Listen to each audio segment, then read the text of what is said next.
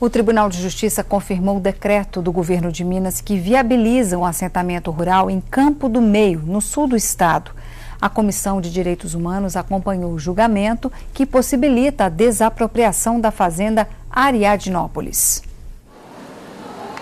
O movimento dos trabalhadores rurais sem terra comemorou a decisão do Tribunal de Justiça.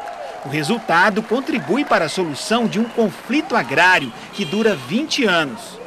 Os desembargadores aceitaram os argumentos da Advocacia Geral do Estado, da Defensoria Pública e do advogado do Sindicato dos Trabalhadores de Campo do Meio, no sul de Minas.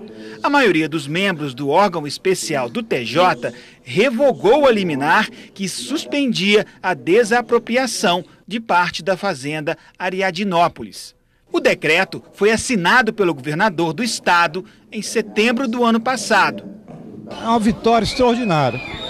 Eu acompanho esse movimento deles há muitos anos, há décadas.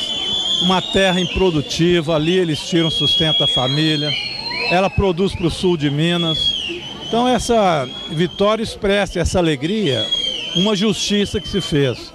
A justiça de deixar quem na terra trabalha, produz, Segundo lideranças do MST, a propriedade tem 3.600 hectares e está ocupada por 400 famílias que já desenvolvem atividades agrícolas na região.